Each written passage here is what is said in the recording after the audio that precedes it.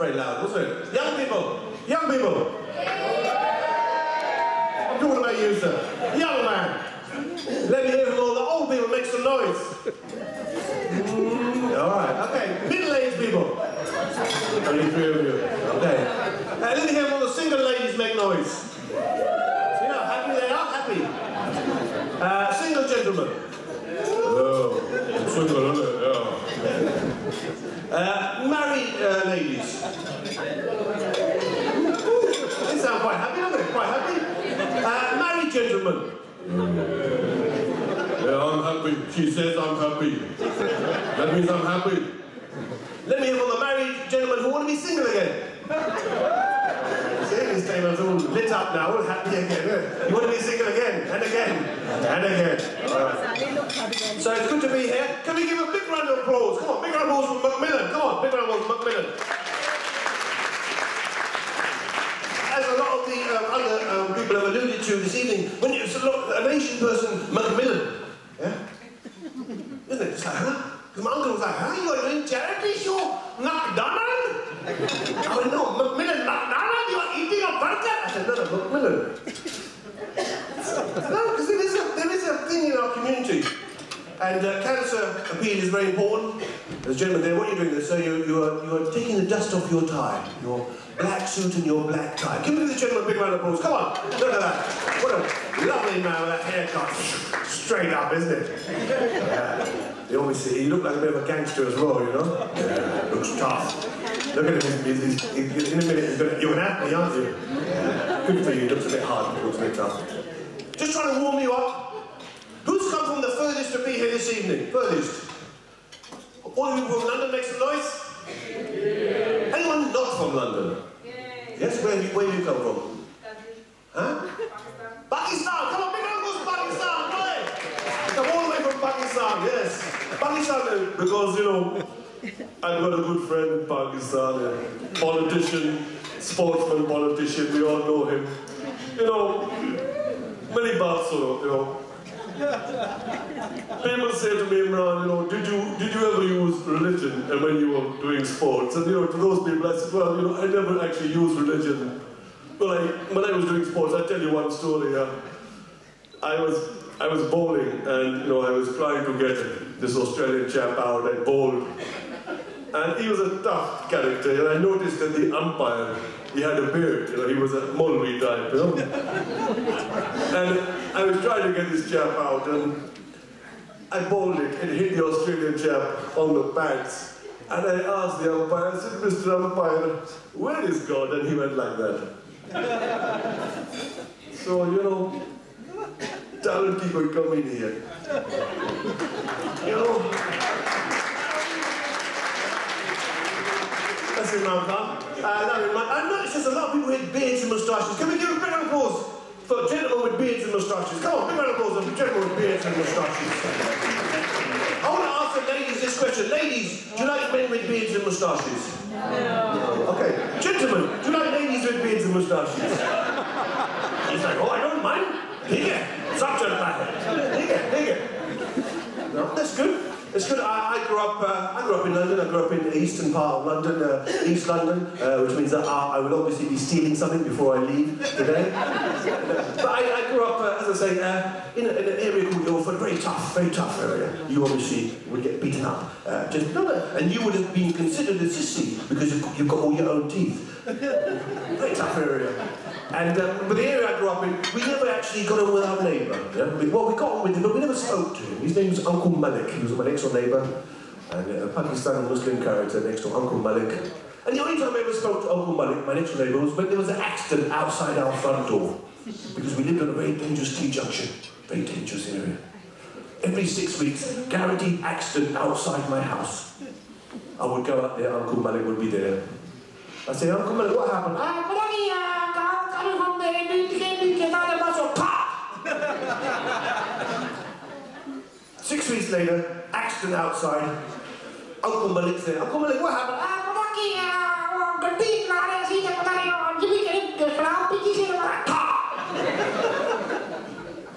Six weeks later, I go outside, another accident, bodies everywhere, ambulances, police cars, Uncle Malik's there. What happened, Uncle Malik? I thought, this is wrong. The only time I'm talking to my next door neighbor, Uncle Malik, is when there's an accident. This is wrong. I must find out who is he. I must communicate with him. So anyway, next time there was an accident out there, I will talk to Uncle Malik. I went out there. I went out there. And Uncle Malik was there. Obviously, it was an accident. I noticed he had a small dog with him. So I went over to Uncle Malik and said, hey, Uncle Malik, you've got a small dog with you.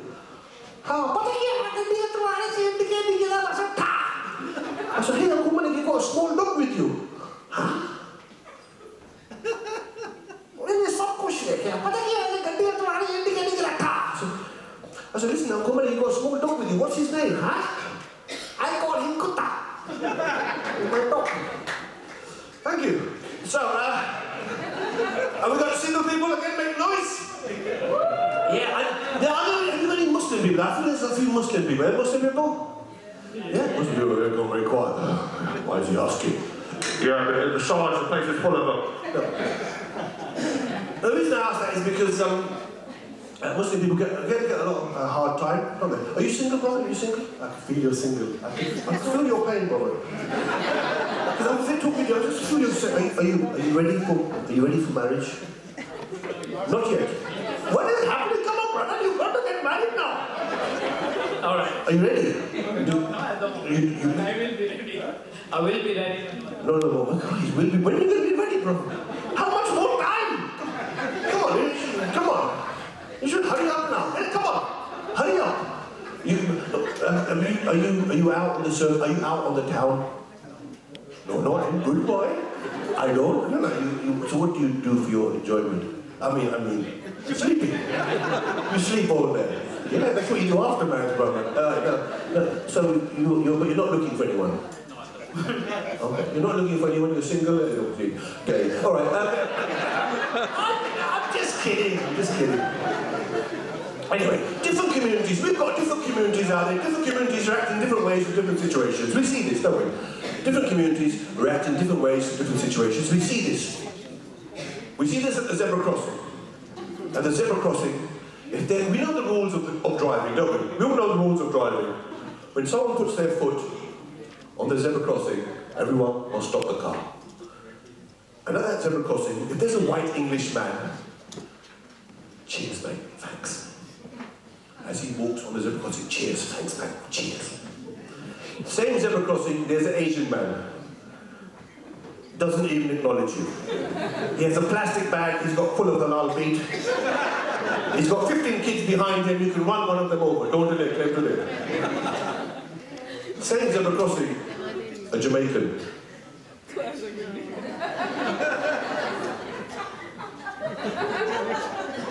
Once you realize you're watching him,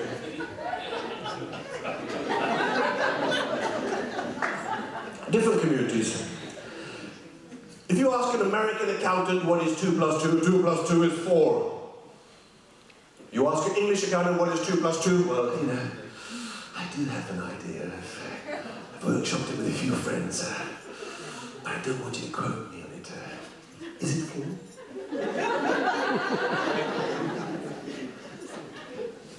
You ask a Pakistani accountant what is 2 plus 2, what would you like it to be?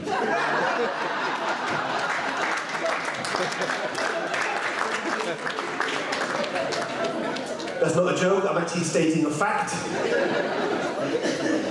So brother, you're single, yeah? You're single. What's wrong, brother? What's wrong? Haven't? What's your, what's your name, brother? Come on, listen.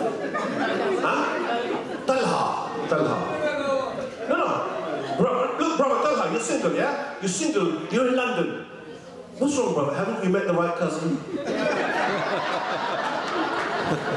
I'm just kidding. No, no, cousin, cousins, isn't it? Come on. Hands up who's married to their cousin, come on. Yeah, they're all married to their cousins. No, because it's, there's nothing wrong with it. There's nothing wrong with My parents are both cousins. My parents were so poor, they couldn't marry their first cousins. They had to marry their second cousins. And so much, so much cousin marriage is going on in my community. So much cousin marriage is going on, yeah? Between my mum's family and my dad's family. I'm not making this up, this is true. So much cousin marriage is going on. I am my own uncle. and my parents were so strict, they wanted me to marry my cousin. but I didn't want to marry him. Alright, so, just trying to find your level. I feel in a good mood at the moment. I feel in a good mood because, uh, uh, I, I, I, I although I did have terrible problems getting here this evening because of sat nav. Sat nav, two Indian friends of mine, Sat and Nav, in the back of my car. You do right, you do left. Yeah, Sat and Nav, they're my their names. Sat and Nav in the back of my car. Same for the English people. Right now on stage, yeah, right now on stage, probably in or Pakistan, there's probably a white comedian on stage saying, I had terrible problems getting in today because of Tom Tom. Tom Tom. But I do feel in a good mood at the moment because my sister, who I love very dearly, she's just passed her driving test. She's passed her driving test. I feel really good about that because that reminded me, when I heard that news, that reminded me of when I was learning to drive. Because I will say, uh, for people who are learning to drive, the worst person to teach you to drive is a member of your family, isn't it? A member of your family, like your mother, your father, your brother, your sister, is the worst person to teach you to drive. I've never forgot learning to drive when my dad was like, oh my God, for God's sake, put the brake on! Wait, me get car! I said, listen, Dad, let me get in the car first. Man taking pictures Can, can you take, take over, please? I'm going to do Desi one. Because we've all got a relative at home like that, haven't? The Asian community with that picture like that, they think there's like... Don't take too many pictures of me, brother, uh, for security reasons. Social security reasons. I think I'm making that up, I'm not. So, um, I went back home recently, went back home, people were like, oh, don't go back home. Oh, oh, things are gonna happen to you if you go back home. I said, what do you mean, what's happened? So I went to the, I went back home and I got there, and you know, you know it's like when you got the smell, the heat, the dust, oh, I got there, the doors open, hit me, oh, the smell, I'm back in Leicester. no, but I went back to Pakistan, and um, when you go back there, people said to me, you know, when you get there, be careful, be careful, we're worried, you're going to be kidnapped or taken. And I was in the bazaar, I was in the local bazaar, and you know, I, I've lived in England all my life, and I was like, in the bazaar, I'm like, oh look, there's a man selling oranges, oh, there's a man selling mangoes. He's like, shh, oh, God, don't speak English. Man look, it's a man, it's a man, look, there's a half-naked man with some mangoes. Don't speak English. And after a while, in Pakistan, I started changing, I started adapting, because I was very anglicised when I got there. And I started, because they said, these some of these areas are very dangerous, so I started changing my walk. You, uh, you know what I'm talking about, brother. If you, if you think, yeah, if you're worried about being kidnapped, you want to look like the kidnapper. So by the end of the week, I was like that.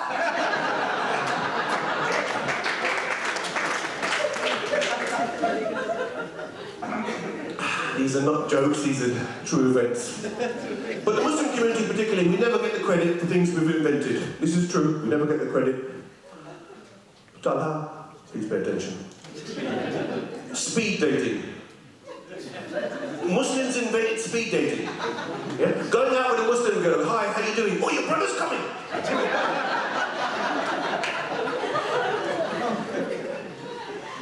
I think one day in this country we could actually get an Asian Prime Minister, British Asian Prime Minister. Could happen, couldn't it? Can you imagine it? Number 10 Downing Street, British Asian Prime Minister. One of our politicians here, one of our brothers here, or sisters, could be number 10 Downing Street. Civil servant coming over, excuse me, excuse me, Mr. Prime Minister, or Mrs. Prime Minister, you've got to give the European Union 50 billion. What? Take them at nothing.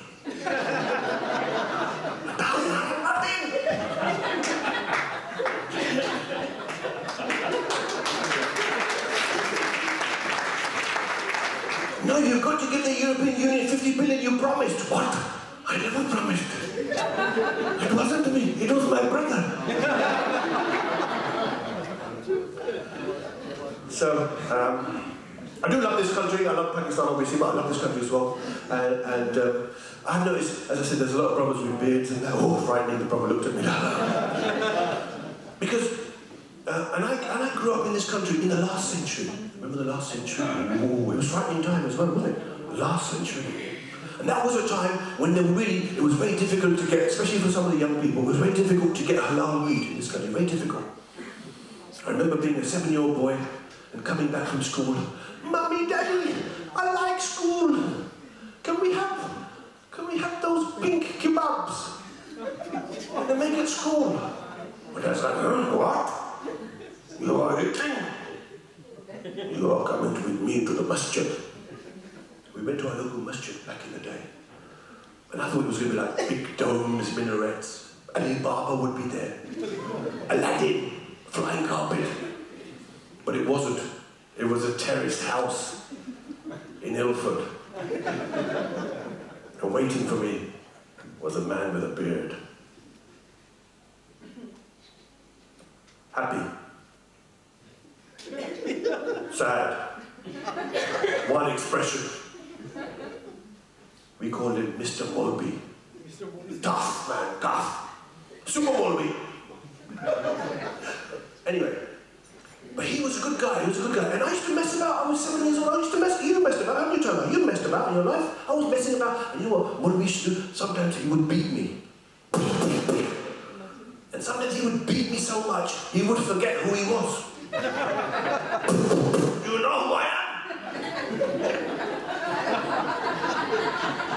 and sometimes he beat me so much, he forget who I was. Who do you think you are? so I went home.